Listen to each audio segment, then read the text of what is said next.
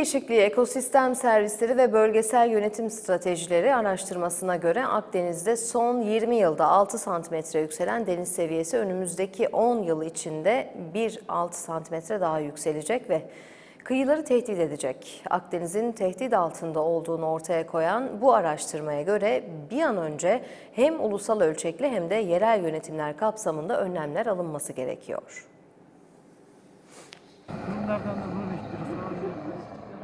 İklim değişikliği, ekosistem servisleri ve bölgesel yönetim stratejileri başlıklı araştırmaya göre küresel ısınma nedeniyle son 20 yılda Akdeniz'de deniz seviyesi 6 santimetre yükseldi ve önlem alınmazsa yükselmeye artarak devam edecek.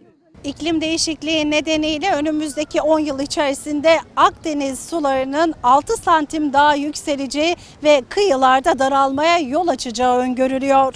Türkiye denizlerinde deniz yüzeyi sıcaklığının daha fazla olduğunu bildiren uzmanlar 10 yıl içinde küresel ısınmaya bağlı olarak 1.4 derece deniz yüzey sıcaklığının artarak Akdeniz'de 20 yılda 6 santimetreye ulaşan deniz suyunun 10 yıl içinde bir 6 santim daha yükseleceğini kaydetti. Doğu Akdeniz'de özellikle su kalitesinin düşük olduğunu da belirten uzmanlar sıcaklık baskısı, av baskısı gibi nedenler üst üste bindiğinde bazı sıkıntıların ortaya çıktığını ve bu sıkıntıların ortadan kaldırılması için de bir an önce önlemler alınması gerektiğine vurgu yaptı.